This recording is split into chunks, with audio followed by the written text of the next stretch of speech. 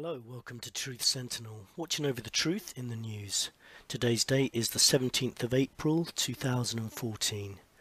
Welcome to any new listeners, uh, thanks to existing ones again. Truth Sentinel, as I mentioned before, is on the move. We've been through Netherlands, Turkey, we're now in Ukraine. Uh, we've been doing a few interviews over here, just settling in at the moment really. Um, today's news, uh, weather blights South Korea ferry search. There's uh, obviously a ferry that's gone down uh, near South Korea. Uh, 300 piece people were missing. Uh, there's um, there are uh, survivors, but still plenty of people missing there in that tragedy. Um, back to the Ukraine situation. Ukrainian, Russian, and Western diplomats have held talks in Switzerland today, um, hoping to resolve the crisis that uh, seems to be happening in Ukraine uh, with armed pro-Russian protesters uh, seizing, seizing parts of eastern Ukraine. At the moment we're okay here in Odessa although um, we have heard that things could start to happen here shortly. It really depends. Um, nobody knows what's going to happen next really. Uh, Putin's very cautious on using force in Ukraine. I've read, but he said it's um, it's an exercise that his it's his right to do to send troops into Ukraine um, as the talks are going on, continue to go on in Geneva. On the MH370 um, search, the mini sub is still um, looking around trying to locate those signals, which could have been anything. Um, today, as mentioned in um, a little trailer I did, we're going to have um, an interview with Sarah Bajc, um, partner of Philip Wood, so that will come later on in today's episode. Uh, we're grateful for her uh, coming to talk to us. Um, prosecutors um, have launched a trial in the US for uh, for uh, against Abu Hamza, who uh, it took about I think about 10 years or more to kick him out of uh, England for um, preaching a lot of hate speech over here. Uh, in the week's news, um, Berlusconi um, is going to be doing community service. That should be interesting. Ex-PM of uh, Italy there. Uh, ordered to do one year's community service over tax fraud. Uh, that's what the courts ruled anyway. It remains to be seen what will happen with that. A girl was um, allegedly arrested for tweeting a bomb threat. Um, basically, she uh, threatened uh, or said that there was a bomb, and um, it was taken quite seriously. And there's, uh, it was said on the news that she was arrested anyway. Now, it might not be long before anti-government comments could get you arrested, or certain opinions will get you arrested. and that's certainly something to watch out for anyway. It's already been happening in some cases. Um, of course, there was the anniversary of the marathon uh, in Boston. Um, I believe that's already taken place. That was uh, the, the, week's news. Um, there's also a blood moon. Uh, did anyone see the blood moon? I didn't get the chance to see that. Back to the um, Oscar Pistorius trial.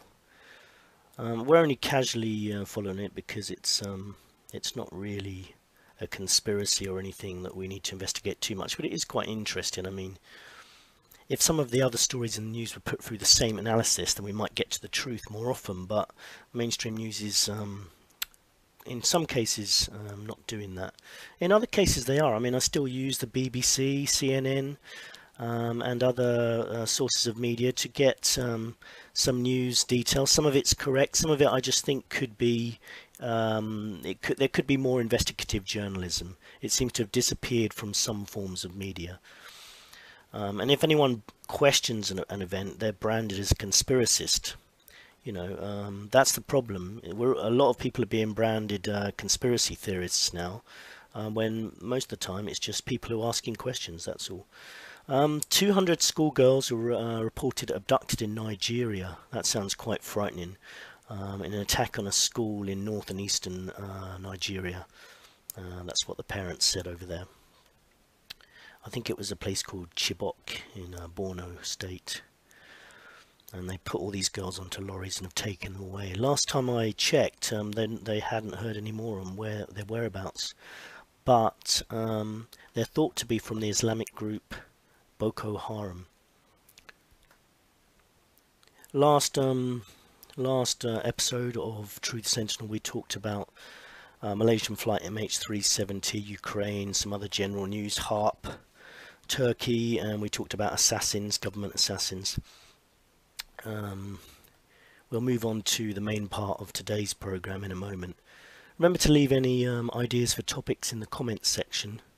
We may not do them straight away, but they will be added to the list of things that we want to look at if it's something we feel is worth checking out. I do definitely, I read the comments section I do take notice of what's in there. Remember also that we'd like to hear from you if you're a listener. We can have a, a short sort of two or three minute Skype chat and we can make a collage of uh, just your opinions on anything that's brought up in the episodes or anything you want to say. We'll make a we'll make um, one episode where we have maybe a collage of some of those. Um, let's move on to the main part of the show, the search for MH370. Um, it's been in the news for a long time, I know, but we do have um, Sarah with us today, uh, Sarah Bajc. Uh, the interview will be coming later. Uh, just as a bit of background chat about that. Let's just see what we know. Uh, the plane allegedly changed course because new coordinates were programmed into the computer by someone with knowledge of aviation flight computers. This is some of the information I've been looking at the internet. Um, it could have been, uh, could this have been done remotely by a hacker, either on the plane or on the ground? Um, either way, it seems it was deliberately diverted for whatever reason. There's definitely questions that should be asked, and it's not being tackled enough. The questions, not all the questions have been asked on mainstream news. They are on some. Um, the last words were from the co-pilot, Farik Abdul Hamid, uh, so it's possible he's involved in some way or other, whether in a bad way or you know he may have even tried to save people. Who knows? But he was involved. He was the last voice that was heard. The plane uh, allegedly flew on for um, up to five to seven hours, uh, flying over a number of countries, all supposedly undetected. I think that sounds very unlikely. Uh, although there are reports I saw on the internet that the Thai Air Force said its radar spotted MH370 uh, 370 head the Strait of Malacca minutes after it managed, vanished. But it didn't really say much more than that. Um, one of the passengers allegedly gave his ring and watch to family in case he didn't came, come back, which sounds a bit curious. There was also talk of the pilot and the co-pilot um, having mysterious phone calls before takeoff, etc. Um, I think the plane was um, almost certainly picked up by military radar, but we haven't mu uh, heard much about that, radar or satellite. Our attention was initially um, diverted to objects photographed with blurry satellite images, not the clear ones we've been led to believe are possible, such as the ones shown of uh, Russian planes on the border of Ukraine. Although those uh, those pictures have incidentally possibly uh, outdated themselves. Then we were told there was pings from black boxes, although definitely um, not definitely coming from the plane. These have since disappeared. It does seem like a real wild goose chase. It, it reminds me of a kind of um, uh, episodes of Lost, the uh, TV series Lost. Like you just want to see the next one to see what's going to happen next, and nothing quite happens, but uh, and you're not quite sure what the conclusion is, so you watch the next one. Uh, that's what it reminds me of. Um, always seeming to point towards a conclusion, but never actually getting there. We won't talk about the finale of Lost, of course. Some people liked it. Um, as I said, the sad part is that um, any ideas that differ from the official story are deemed conspiracy uh, theories by some, and that's the kind of attitude we need to try to change. Um, I mean, there are some theories that might be seen as ridiculous, but I, I really try and shy away from using that word because everything should be considered. It should be it should be um, fairly easy to eliminate the ridiculous stories. Um, but people do need to ask questions and not try and shut people down who do ask questions. I mean, um, conspiracy things that were originally seen as conspiracy theories have turned out to be true. I mean, people's minds being wiped by the CIA? Ridiculous nonsense. Um, actually, no. Uh, there's people uh, who've sued, this, sued the CIA, and it's admitted by the CIA that that went on in the past. Planes flown into two towers in New York, not nonsense, that happened, we all know that. MI5, KGB, CIA, uh, secret uh, organisations doing secret covert operations, that's not nonsense, we all know that that goes on. False flag starting wars, um, look at the Gulf of Tonkin incident in uh, regarding Vietnam. Um, misinfo, uh, which was apparently misinfo spread by the NSA. UFOs being witnessed by hundreds of people in Phoenix, Nevada. Not nonsense. There was uh, hundreds of people who saw that. They should be listened to. Uh, Mothman seen in West Virginia. Um, not nonsense. Uh, that was uh, that character was seen by quite a number of people. So in a court of law, that would have been something that you would have said happened. Um, the CIA used false witness accounts of kill, uh, the killing of newborn babies to wage war with Iraq. Not nonsense, that happened. And if you think about how disgusting that is, that um, they used that story and it was um, it was not true, then that's you know that should give you uh, some idea of the mentality of some of these people. CIA influencing national media towards hatred and fear of Soviet communism in the 50s. Uh, that happened. Um, Asbestos was originally said to be safe, turned out later it wasn't, due to people questioning, basically, questioning the facts. There's a, there's a special heart uh, attack gun that the CIA uh, invented that fires a bullet made of ice that can disappear inside and leave no trace, uh, um, so thereby killing uh, the person that is shot at. That's true. Check that out if you want. Cancer DNA, viruses in polio, polio vaccines. Uh, 98 million Americans received one of those uh, within an eight-year period, and um, there's a, a poly, polyomavirus called SV40 inside uh, the polio vaccine, and it's estimated that um, that it's, it's said that that is um, can cause cancer, uh, according to tests. Human-animal hybrids being created globally, that's happening please do your own research, check out if you're not sure about that. Um, regarding um, the global elite wanting to reduce human population on the planet, people like David Rockefeller, Prince Philip, um, they've open, openly said that they want that to happen. Um, also, um, people like Ted Turner, who said uh, a total world population of 250 to 300 million people um, a 95% decline from present levels would be ideal. Uh, this that ties in with the Georgia Guidestones that we talked about. Okay, whatever you think of Alex Jones, he also said that um, the NSA was spying on all our phone calls, internet searches, financial tracks, transactions. That turned out to be true. Also, Ed, uh, Edward Snowden revealed um, a lot about the NSA and what um, their spying um, that they've been doing on us. Uh, so, anyway, back to MH370. It's important because um, the lies and deceptions in the past, we need to make sure that people do question, get to the truth. Don't just let stories disappear from the news and pass us by. There are there are some reports that MH370 was flown in such a way as to avoid radar, quite low at high speed.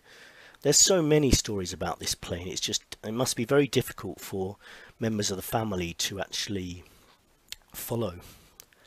I had a chance to speak to Sarah Bajc, partner of Philip Wood, one of the passengers that many people may be familiar with um, because of various conspiracy theories and we know we don't believe all of them. I mean, I think that photograph, um, I'm a bit dubious about that, to be honest.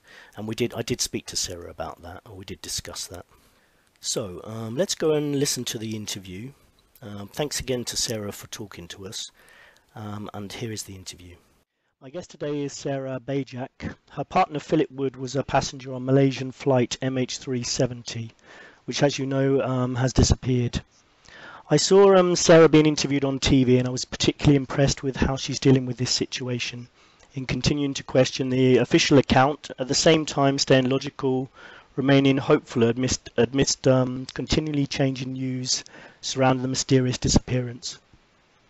One thing I would like to ask listeners before I start is that we can all continue to dig for information, ensure that every avenue is investigated by members of the public and anyone involved with the independent media. Um, we're grateful for Sarah spending time with us today on today's show and want to support her in any way we can during this time and let her know that she's not going through this alone, but people are thinking of her and other passengers' families. Hello, Sarah. Thanks for coming on to Truth Sentinel. Thank you for having me on your show, Scott. You're most welcome. Um, let me start with my first question. Um, you have a lot of support from people around the world, including me and listeners of Truth Sentinel. Are you finding any comfort from the support? Yes, of course. Um, I mean, not only in a in a concrete visual way of being able to hear people, or visual and audio way of being able to hear people and see people giving their support and and validating that you're not crazy to continue to hope and and pray for a positive outcome but also the the softer side of it. I, I really do believe in the power of human connection, and so you know when you can raise thousands and hundreds of thousands of voices towards a towards a positive aim. So on, on many levels, I think it's very important. Yeah, um, I mean, I totally understand why you're hold, holding out hope because, um, from an emotional point of view, that's that's important. And at the end of the day, nothing's been found still to this day. So, yeah, I think you've got every right to hold hold on to some hope. Yeah, we're at uh, almost day 40. Just a couple more hours, and we'll be at that cross. And there is not a single piece of concrete evidence and the only circumstantial evidence we have has been um, has gone through a very weak chain of command. So it's been passed through the Malaysian government, which means we no longer have confidence that it hasn't been altered in some way before analysis has taken place. So I, I believe I speak on behalf of most of the families when I say that I have basically zero confidence in the projections and pronouncements that the Malaysian government has given to us. Uh, okay, yeah. Um, uh, I've noticed from your Facebook page, you, um, you've you've been writing messages to Philip, and you seem to have quite a special relationship. Can you tell us something about how you met and um, what makes your relationship so close? Well, we met a couple of years ago. Um, we had each basically ended long term marriages. So my divorce was actually already final after 22 years, and uh, he was formally separated and initiating a divorce after 25 years with his ex wife. And we just kind of ran into each other by accident and kept a friendship at just the beginning. I think we were both a little bit raw around the edges and then it, it developed into something more. And it, it, it sounds strange. I'm, I'm not a, an overly metaphysical person. I'm, I'm uh, I teach business and economics. I had a 22 year career in business. Most people would tell you that I'm an extraordinarily logical and pragmatic person. But, you know, at the age of 46, hmm. which was two years ago for me, um, I found my soulmate and he felt the same way.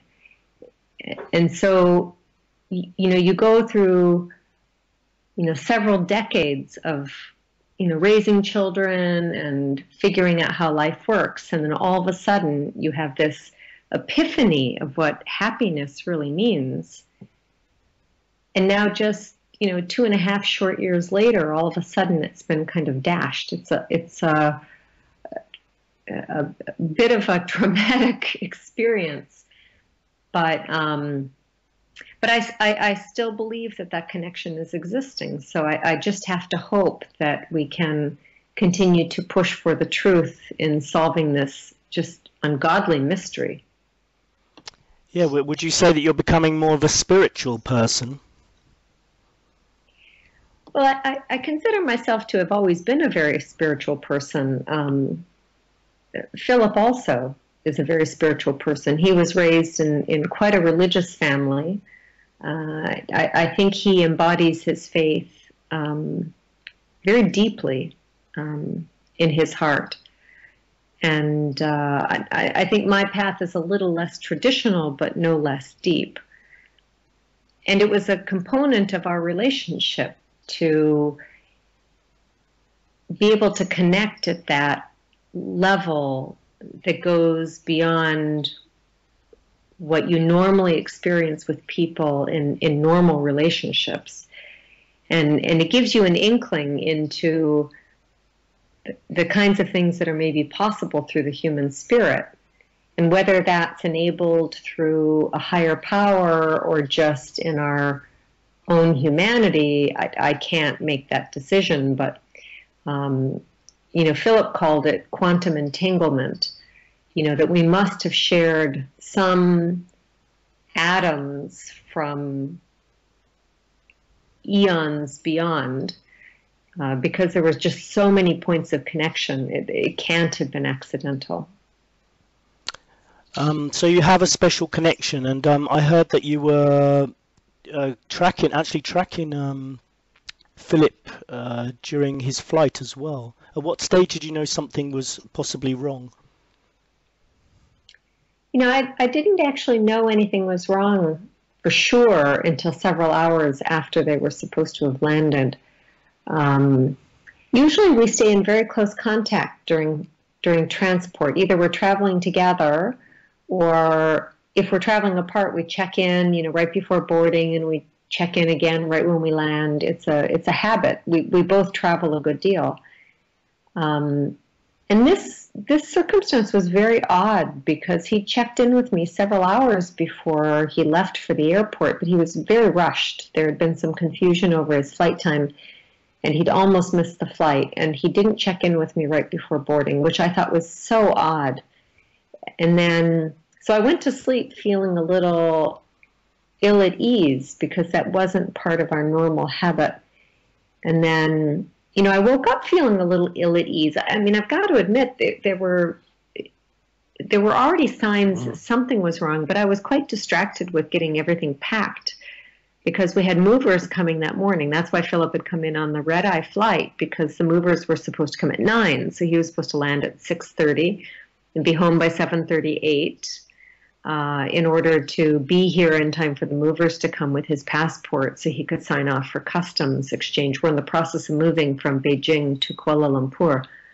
And, uh, you know, moving between two antagonistic countries is not like moving between uh, two cities in England or two cities in the United States. It's a much more complicated process. And uh, he didn't show up, and he didn't show up, and the driver was waiting for him, and um, the uh, pronouncements on the flight board just said the flight was delayed, even though it had taken off on time. And the delay time extended from one hour to two hours to three hours. And then CNN came out with their um, their news announcement that the flight was officially declared missing. Mm-hmm. And uh, you uh, you were moving to Malaysia because Philip was going to start a new job, or you were both starting a new job. Is that right? Yeah, both of us. So we were ready to leave China. I'd been here for seven years. He'd been here for two and a half. He'd already stayed an extra year um, to be with me while my youngest son was finishing high school here.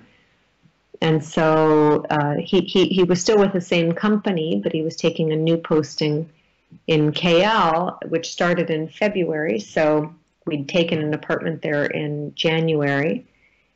And uh, he was to come back here for the month of March to start by getting the shipment on board, I mean, on the boat, and then just to hang out here with, uh, with my son and I for a couple of weeks. And then we were all to return to KL for a week of spring break. So my son and I and Philip together, uh, which um, we did without him. So I was there two weeks ago to finish settling the apartment and take care of closing out his things at his employer, uh, who is, I think, all too ready to put this to bed. It's too much of a hassle for them to deal with. Mm-hmm. Um, and now I'm back uh, here in Beijing because my contract doesn't finish until the end of June. I'm a teacher, so you can't leave your students in the middle of a school year, especially um, I teach graduating classes who are going through exams. So uh, I have a, a, very real obligation and and desire to see it through. I mean, I, I owe a lot to my students to um, see them through to good exam results. So um, so I was to be here through June, and then um, would be joining him over the summer. And I have a new position already already set in KL. Okay. Um, there's been a lot of uh, analysis about the people on the board, including their jobs, and um, one of them was in, in relation to technology patents. I don't know if you've seen about that. Did um, Philip's job at IBM Im- involve anything that's likely to connect to these stories? Uh, no, I highly doubt it. Um, uh, Philip was in primarily a business development role. He did have a, a technical background, but um, I can't believe that over the two and a half years that I've known him that he could have possibly kept any kind of nefarious under undercover background secret from me. We lived a pretty consolidated and uh, and close life together. Um, I, I, do find it suspicious the the density of intellectual property that was sitting on that airplane, not only in people but also in uh, patent samples and other things. So that is one of the leading theories: is that the plane was taken for the um, the valuable assets that were on board. Yeah, uh, and there's a lot of other theories. I, know, I mean, I know um, it seems clear that you don't necessarily believe the account you're being told by Malaysian authorities. Um, there's been a lot of conspiracy theories. Um, I just wondered, you know, with with places like Diego Garcia, Pakistan, Afghanistan, Israel, what's your feeling about these? Do, um, do you find them annoying? Do you prefer do you prefer not to speculate speculate about them? How do you feel about them? Well, I listen to all of them and I try to assess them in, um, intellectually, so from an analytical perspective. There are some that seem to be more valid than others, but there's no one that comes forth as the obvious choice. Um, it, there are certain of the theories that have surfaced, like uh, there was one about Philip sending a text message, a black picture. Yeah. Mm-hmm. That one is clearly fake. Um, I mean, even without knowing Philip, any intelligent person can look at the content of that message and say, hmm. Yeah, I, I, mm-hmm. yeah. absolutely. I, I, I, must admit the the things that were said in that message, it just it sounds almost like a joke, you know. Yeah, like perfect grammar, perfect spelling, capitalization and punctuation. You know, somebody who's blindfolded and drugged knows that their captors are military people. I mean, really, come on. I mean, you know, but but separate from that, the reality is is that uh, Philip and I texted and Skyped and every other means of communication back and forth with each other on a regular basis, sometimes hourly. And uh, he never would have written something so structured and formal. It would have been very ad hoc. So, in a time of crisis, that would have been worse, not better. And, and there's no way he would have referred to his employer before he would have referred to me. So, I, I mean, I'm sure that's a hoax. Now, is Diego Garcia involved? I don't know. I, I mean, I'm an American. I, I like to think that my country would not be involved in something like this, um, and that it seems too far fetched for that airplane to have been landed on that island. But the reality is, you know, the United States, just like many other countries, has been involved in some pretty awful stuff over the last oh couple hundred years, right? Yeah. There's uh, you know a lot of bad behavior by bad people. It doesn't mean the United States is a bad place. I love my country. I'm proud to be an American, but the reality is we have had some pretty scary stuff happen. You know, whether that's you know in recent times the the cover-ups in the 9/11 um, escapade, you know, the things that led up to the whole Iraq war issue and, and what Bush was fabricating there. You know, you've got in further history, you've got the Vietnam era, you've got the Iran Contra scenarios, uh, Watergate. I mean, you name it, there's been bad people doing bad things. So um, it, it's always a possibility. I mean, there's no proof. Um, the government certainly has not come forward with any kind of defense or proof to the contrary. So we have to keep that as an open possibility. And uh, I heard on CNN that you mentioned about the possibility there might have been jet fighters tailing the plane. Um, are you still um, sticking to that? I mean, did you, did you get any information about that at all? I've not been able to validate that. That was purely a statement made by one of the family members um, at the um, family briefing in Kuala Lumpur that I had gone to a couple weeks ago, which is the only one I've ever gone to. I've never gone to any of them here in Beijing. I, I do live in Beijing, China. Um, I, I, to steer clear of that media circus. Um, and I didn't go to any of the other um, uh, gatherings in KL either for much the same reason. It, it's interesting because I've done a lot of uh, international press. I mean, I'm all over uh, CNN and NBC and ABC and CBS and the Wall Street Journal and, and now your show as well.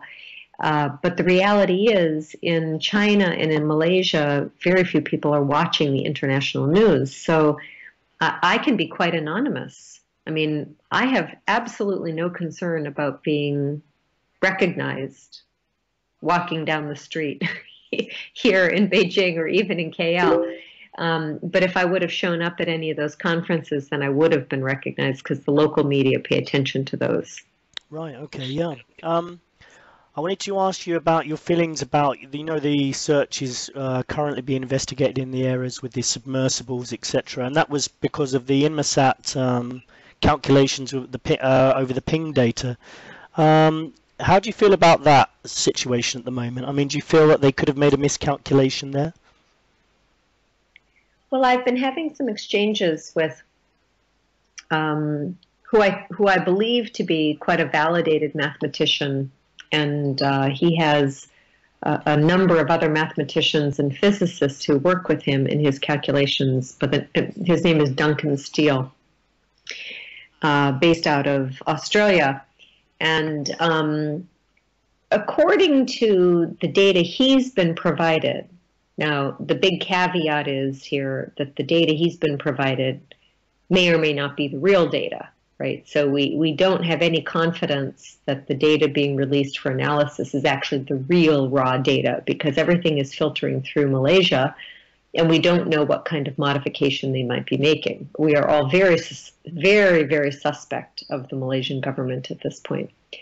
But regardless of the data that he's received, he has challenged the assessments being made that there are some mathematical formula errors, as an example, and that the northern route is just as likely, if not more likely, than the southern route that was uh, determined to be the, the more obvious choice as evidenced by the, the March 24th pronouncement of the, um, the leaders within Malaysia of saying that the flight was lost and it was in the ocean. So, you know, if we have independent, multiple independent um, experts in the calculation of moving masses through air, so this is what these people specialize in, right? Mm-hmm, mm-hmm. And they're all saying, you know, they've made mistakes in their calculations, then we should be listening to that. And, um, you know, not only from a purely mathematical model, you know, a, a pure maths modeling perspective, but also just some knowledge of how flight, flight autopilots work, that if, you know, separate from the calculations, which could go either way, you know, one of the things that Duncan had stated is he said, look, you know, autopilots are a computer system. And uh, if indeed that computer system went through some catastrophic failure, it would reboot itself, just like anything else reboots itself. You know, your computer, when it gets to the blue screen, it reboots itself. And uh, when a flight uh, data um, autopilot goes through a reboot cycle, it defaults to 360 which happens to be due north. Mm-hmm. Mm-hmm. So, you know, separate from the fact that the calculations themselves could go either way, you take that extra piece of data in there and say, hmm, you know, so so if it was catastrophic failure, north would make more sense than south, And if it wasn't catastrophic failure, if it was indeed manned, then north still makes a lot of sense because if you're taking a plane for some purpose, why would you just put it into the water? You know, you're going to take it and do something with it, yeah. which means you're going to have to put it onto land someplace. And it would have it would have been tracked as well. That's the other curious thing. I mean, it's it's very unlikely that it's true that it wasn't tracked by anyone. Well, either direction though, because whether you're going north or south, it still would have flown over airspace of multiple countries, and nobody's saying anything. Yeah, um, and um, when the Malaysians announced that it was that they said the plane had crashed with no survivors, that was very suspect as well. That was really uh, odd. I thought. What did you think when they said that? Uh, I thought it was cruel, and it was clearly intentional to have that impact. I mean, there's no way a normal thinking person attempting to do the right thing would have possibly made that set of statements. You know, they had no fact. Um, they had no corroboration from anybody else. They just came out and made the statement. And it, to me, you know, my my my immediate impression was to crash because I was already so on the edge anyway that it just kind of tipped me over. But uh, once I'd had a chance to think about it a little bit and talk to people, you know, my my youngest son is 17 and he's uh, actually much more clear-headed, I think, than adults sometimes are. And he said, "But you know, mom, they didn't they didn't tell you anything new. All they did is package it into something that is probably serving their purpose." And so if they're looking to close the inquiry down because they want to settle up with insurance and go about their lives and be done with this hassle, well then that pronouncement maybe made some sense. Yeah, I mean, it's very unlikely a plane can fly for five to seven hours without being tracked by radar. I mean, was was the hijack situation still being considered in the last couple of weeks, or has it been totally ruled out now?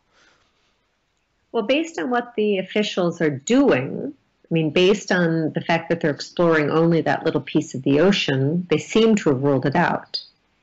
Um, from the standpoint of the families and, you know, the mass support. So, you know, I run a couple of Facebook pages. I've got my own personal page. It's just called Sarah Hamill Bajc. It's my personal communication site for friends and family, and I, I write messages to Philip. It's not news oriented at all. And then um, there's another site called Finding Philip Wood, and, and that page is, is quite dedicated to the efforts of discovering the truth. So, you know, we've had almost I think we're up. I'd have to go back and retotal, but I think it's closing in on, on more than 2 million hits and um, like 36,000 likes in only four weeks. And, and that means we're getting some critical mass of people who are all thinking about this problem. And, and the, the general consensus is that something has been, you know, been pulled over us that that there's a, a, conspiracy of some sort. You know, even if it's just to cover up incompetence, there's some there's some cover up of some sort. Yeah, that does seem to be the case. Um, I would imagine if you're getting so many hits to your site, you must you must be getting contacted um, both with people who might have some um, valid uh, information, but also maybe people who have coming up with some crazy stories as well. Are you um, are you, are you finding it easy to sift sift between those? Well, we have about a dozen volunteers, um, so it's all a volunteer effort with mostly friends and family um, who do watch the postings. And at the beginning, I'll tell you, the first week or two, we had just a bunch of crazies. I mean, you know, psychics trying to sell their services and people trying to scam money and take donations, which our site would never do. We, we accept no donations whatsoever, except in the form of information and help. And um, so we had to shut a bunch of them down. Even a couple of them got reported to the FBI because of their um, egregiousness. But the, the vast majority, I mean, 99.9%, are very positive and supportive. And as we're getting further into this mystery, we're starting to get more concrete content. So, you know, one of our efforts, it's, it's not just to be a, a, social therapy site, which, you know, honestly, at the beginning, it was very useful for that. It, at least for me, I needed a place to have outlet for my emotion. But um, now we're starting to try to gather concrete input. So people who have connections into the government and people who have connections in other countries to please come forward and offer suggestions and offer context and connections and even you know even just practical help. Like you know how do we turn all of this data into a a readable infographic that people can understand? Well i don't have the expertise to do that but we've had a group at one of the local universities in atlanta volunteer a class a whole class like 50 students of people who specialize in imaging data. And um, you know they're working on this as a class project. So I mean that's a an example of how people can help. That's that's really nice to hear actually that you're getting such positive feedback then. That's quite comforting for everyone, I think. Yeah, it's it's a way to to find some good out of this terrible mess. Um, have you heard any particularly um, important news in the last day or so that hasn't been reported on the mainstream news? No. The mainstream news uh, is my news. You know, the reality is I get nothing from the official sources that isn't already on on CNN or or somebody else. Okay, and what's your thoughts on the signals that are um, that were reported coming from the uh, potential black boxes, but probably could be anything? They seem to have disappeared now, and they've put the submersibles in. Um, it does seem a bit like a wild goose chase that they keep almost finding something, then not finding something. What's your feeling at this stage?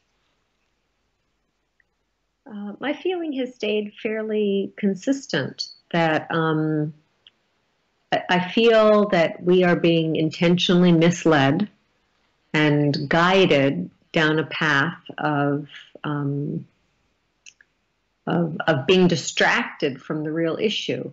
It's, it's, it's just too perfectly orchestrated to be accidental, you know? Everybody just gives up interest, and then some little piece comes to keep us paying attention to this distraction over here on the right, while over here on the left, whatever is really happening is going on. You know, I, I, I, uh, I personally think that in the end, we're going to find that there's some deeper um, issue at play, whether it's part of the Russian invasion activities or it's part of China's rise to power or it's part of the U.S. covering something up. You know, um, as far as I'm concerned, every single party could be guilty. I don't have a particular um, um dominant theory, but I, I just cannot believe that this is an accident. No, I think um, I think a lot of people would agree with you on that one. Um, is there anything we, any of us can do to help you, um, listeners of Truth Sentinel, anyone listening to this program, or anyone in general that might hear about your situation and the families? Is there any, anything any of us can do to help you? Uh, would you like to make an appeal about anything? Well, if anybody knows anything at all about how searches for missing airplanes work, or radar, or cell phone coverage tracking works, or um, how we might be able to influence the governments. And I say governments meaning very open ended, any government to be influenced to keep the search alive. I mean, th- this is not just about the 239 missing passengers. This is about the fact that a major commercial airline has been stolen and, uh, you know, there are 8 million people every single day who fly on commercial airlines. We should all be very, very worried about the fact that one could just disappear. So we need to keep it alive. And, you know, the, the one the one tool that we have to organize people into that is the Finding Philip Wood Facebook page. So if, if people could go to that page, and like it so that they're following our news feeds and contribute what they know to be true or their connections, you can do so, you know, offline or online. Uh, then we'll at least try to keep the story alive and figure out what happened. Okay, thank you. I really hope that you do find some answers soon, and I hope if anyone is listening that can help, please go to that Facebook page, Finding Philip Wood, and um, give any information you can. Thanks ever so much for coming on Truth Sentinel today, Sarah. We really appreciate it, and uh, we are thinking of you, and we really support you. And um, if ever you want to come back on, then please do. And um, uh, just thank you so much for coming on. Great. Thank you, Scott. Okay, goodbye. So great to talk to Sarah Bajc there. Um, from uh, MH370, we're going to move on to Ukraine. Now, uh, before I do, I just wanted to say that um, I did speak to Sarah uh, before the interview and after the interview, and I'll be putting some of the um, excerpts from that conversation in the next episode because we talked about a lot more as well. Um, and with her permission, um, I'll put some of that in the next episode okay? But um, I also um, want to talk about Ukraine. I'm here but in Odessa at the moment. Life is continuing fairly as um, as normal although I have heard reports that some people have started putting barricades on the roads in some areas.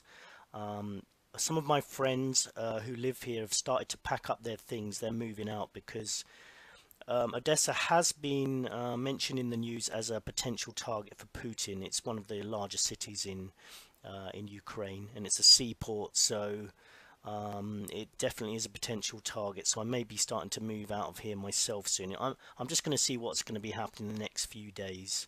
Obviously, um, developments here are all the time in Ukraine.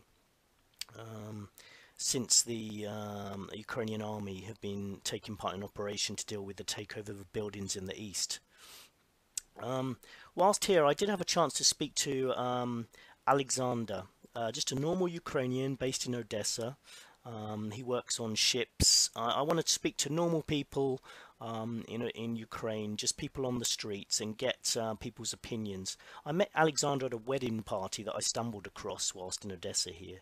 So um, Alexander kindly agreed to uh, talk with me. He's a seaman um, from uh, Odessa, so he works on ships. He said that he's um, basically worked in other countries, such as uh, he told me he dre helped dredge the, the Thames or the um, or the part of the Thames nearer the sea. Anyway, um, in London.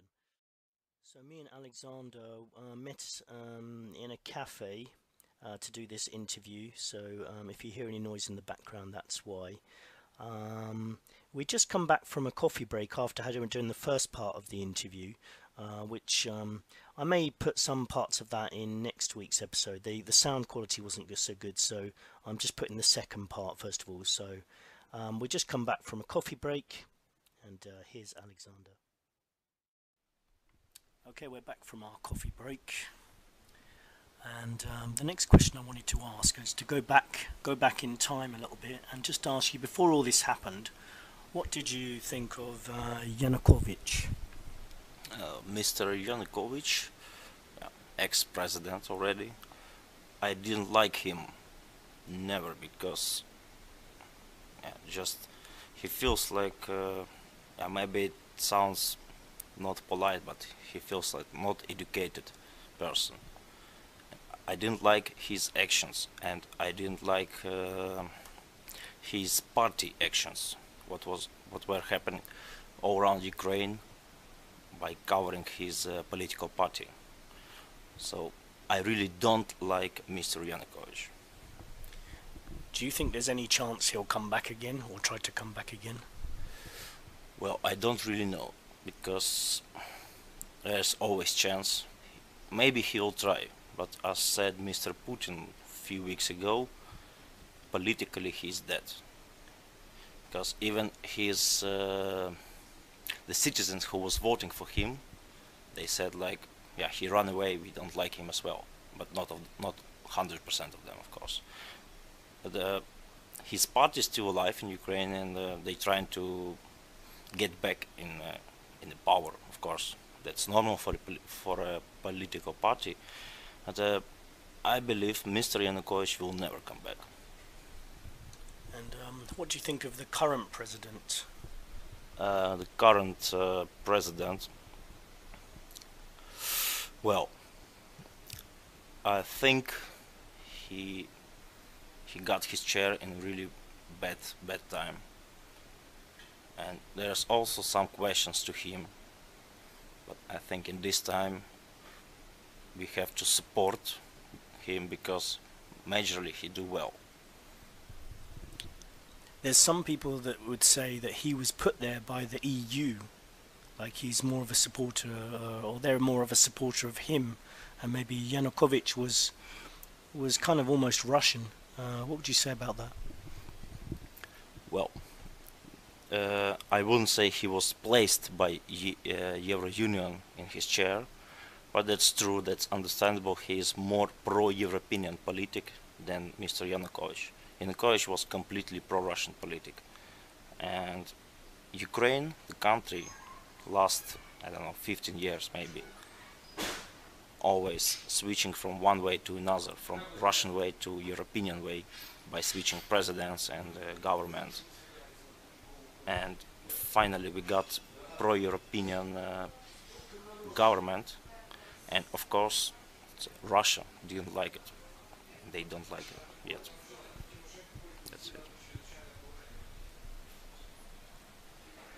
Um, do you think any of the problems that we've seen happening could spread to Odessa at any point? Well, that's that that's possible. If we talk about the same situation like we have in uh, Eastern Europe nowadays, that's still possible. Only we have to understand what the people in Eastern Europe uh, they are mixed with. Uh, that's just my opinion they are mixed with the Russian, let's say, secret service uh, officers or something to to make a bit messy situation and uh, bring up the people for striking against Ukraine. And eastern part of Ukraine was always pro-Russian, always. And that's more easy to do over there than in Odessa because Odessa like 50-50 by, by my view. And in Odessa they will always have problems. I mean, the Russians will have always problems with pro-Ukrainian part of Odessa, but it's still possible. Do you think something good could come out of this situation, or do you think it's going to end in uh, something bad? Well, uh, for now, there's one thing what I see from this really bad situation. that Ukraine got really Ukrainian nation. People become more Ukrainians who feels like Ukrainians. Because I live in Odessa already for 12 years. I never seen so many Ukrainian flags and it feels like Ukrainian city. It makes me happy but uh, all the rest it's really bad and uh, it's almost civil war in Eastern Europe almost it's not yet but it's almost Okay, thank you very much for speaking to us to today, uh, Alexander, and um, maybe you'll come back and speak to us again um, later on as things develop. Yeah, you're always welcome to ask me some questions. I'm always ready to answer. Thank you. So thanks again to Alexander, and we'll be having more interviews uh, whilst in Ukraine. Um, we'll be checking in with Anthony next week as well. I think he might be doing a review or an interview with someone. Um, there has been um, a lot of alarming talk in the uh, news about weather lately. Um, so I'm going to be keeping an eye on that too. What's the sudden increase in uh, reporting uh, on weather pollution and um, some strange weather phenomenon? Um, something seems to be up to me. I don't know. What do you think? Um, basically also um, next episode we'll be talking about lots of other subjects um, the sort of subjects we'll be covering in, in general will be all kinds of um, interesting news about mysteries um, paranormal activities we'll be covering topics such as uh, the typical um, conspiracy theories like 9-11 uh, we're looking at sound weapons, um, the Illuminati, genetic engineering, looking at potential for World War III. Obviously, this is a uh, potential in Ukraine here as well. Um, if you have any comments or any um, anything you want us to talk about, please remember to put them in the comments section. Please check out our new Twitter page. uh, which is now up and running. Um, I have this week listened to um, Caravan to Midnight with John B. Wells, uh, Hagmann and Hagmann, Alex Jones. Um, John B. Wells' um, episode was quite good. Um, can't remember the lady's name. He was also talking. They were also talking about MH370, and this lady had a theory about that. It sounded reasonably credible because it wasn't too. Um, it wasn't too crazy. It was just kind of like basically that um, the Chinese, when they released their original um, satellite image, that was actually the correct uh, location of the plane, but then they diverted attention to another area because they were trying to cover something up there. Anyway, I don't know where she got her information from.